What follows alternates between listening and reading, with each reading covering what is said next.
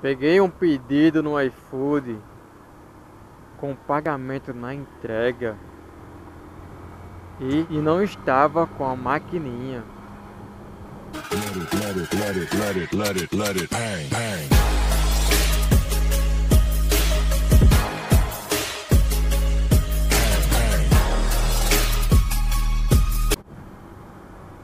Salve guerreiros, tudo beleza? Meu nome é Thiago Rocha, bem-vindo a mais um vídeo no canal Guerreiro sobre Rodas. Manos, no meio das entregas, entre umas e outras, pedidos online, e teve uma felizarda que acabei pegando sendo pagamento na entrega. E eu não sei como é que foi isso, porque minha maquininha não estava pareada no aplicativo do iFood. Aí digo, mano, não tá pareado, o que é que houve? Aí acabo pareando, certo? E passo o cartão do cliente, como era um dia de alta demanda, acabei depois dispareando a maquininha. Mas fiquei perguntando, cara, como é que o iFood lança o pedido de pagamento na entrega para mim e eu não tinha pareado? E se eu tivesse sem a maquininha, como é que ficaria a minha situação? Eu ia ter que voltar para o estabelecimento para devolver, ou se então ia ter que acabar de ver um, um dos colegas para que viesse me salvar, né?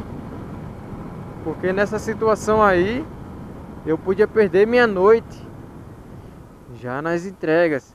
Porque uma oferta, né? Já sabe, o aplicativo mal toca. E gostaria até de saber como é que ficaria essa situação, né?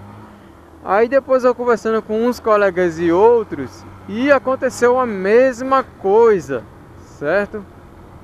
E como é que isso acontece de você receber um pedido com pagamento na entrega sem você ter pareado a maquininha?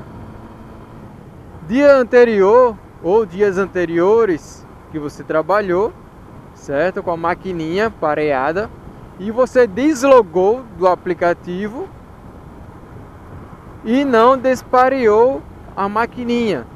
Quando você logou o aplicativo, já com a sua conta, tudo certinho. Lá não mostra que você está pareado com a maquininha, mas pro sistema do iFood, eles entendem que você está pareado. Então, quando você recebe pedido, você se depara com pagamento na entrega. Então, este é um dos motivos e hipótese certo? Eu ainda não posso dizer se é a real, mas foi o que aconteceu comigo e outros entregadores aí que eu conheço, amigos daqui da minha cidade, que teve esse mesmo ato, né, de receber o pedido e ser pagamento na entrega e sentar com a maquininha pareada. Então, manos, se você já chegou até aqui e está conhecendo mais esse conteúdo, já vai deixando aquele like, beleza? Porque eu sempre estou trazendo dicas e informações para vocês ficarem alertados dos aplicativos. E outra, eu vou ter informações novas nos próximos vídeos, hein? Se prepara Maceió que lá vem novidades. Mano, é novidade em cima de novidade. Começando pelo menos a autonomia, que isso não é tão de novidade, certo? Que o vídeo aí que eu acabei de lançar é falando sobre a inauguração da autonomia e com seus embaixadores. Então, manos, já se cadastrem com a autonomia. O link para cadastro está na minha descrição da autonomia, beleza?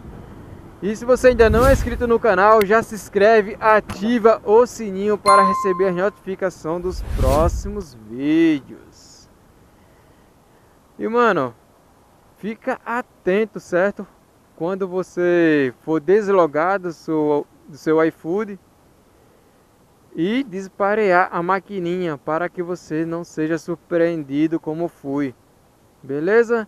Então só até isso, só até esse momento só tenho essas informações para vocês. Então, até mais em um próximo vídeo.